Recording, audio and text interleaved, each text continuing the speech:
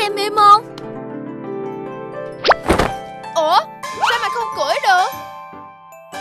Có khi nào phải đốt đi nó mới hóa rồng để cưỡi không? Ừ cũng có thể. Da xanh. Nói là làm. Rồng đâu? Giờ sao đi? Ơ sao vậy nè? Sao vậy? Thôi rồi Kiểu này hết về báo cáo Ngọc Hoàng được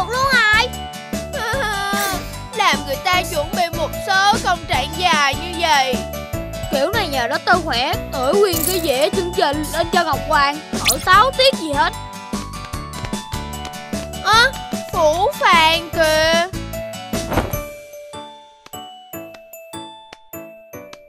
Táo Em làm gì mà ngồi ở đó một mình buồn vậy? Thần là táo, mặc dù rất đẹp trai, da căng bóng, màu sắc hấp dẫn, nhưng thần có một trái tim nhân hậu. Chà, thiệt tình luôn em nha Táo Em tên Táo Mà hôm nay là 23 nè. Sao em không về chầu Ngọc Hoàng đi? Cũng muốn lắm chứ Mà em không có phương tiện đi.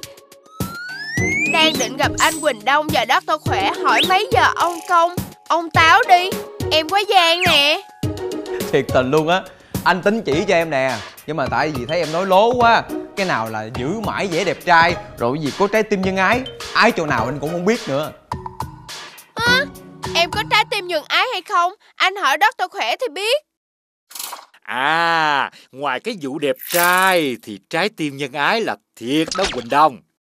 Táo có một trái tim nhân ái là thật hả Dr. Khỏe Ừ, vì táo rất tốt cho tim mạch của mọi người. Người ta nghiên cứu rằng ăn một quả táo mỗi ngày sẽ giúp giảm cholesterol xấu, phòng ngừa việc tử vong do bệnh tim gây ra.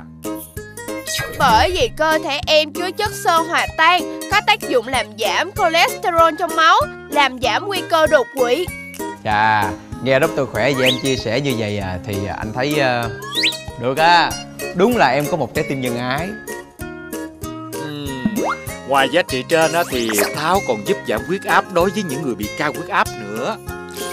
Bởi vì em chứa nhiều kali Nên giúp bài tiết sodium thừa ra ngoài Mà sodium trong máu? Chính là nguyên nhân gây tăng huyết áp đó anh Quỳnh Đông Rồi, coi như cái vụ bảo vệ tim mạch này Anh coi là đúng đi. Nhưng còn cái vụ mà bảo vệ cái vẻ đẹp trai mà mãi mãi á Anh thấy cái này hơi sai sai làm sao rồi nha. Ừm, sao mà sai hả Quỳnh Đông?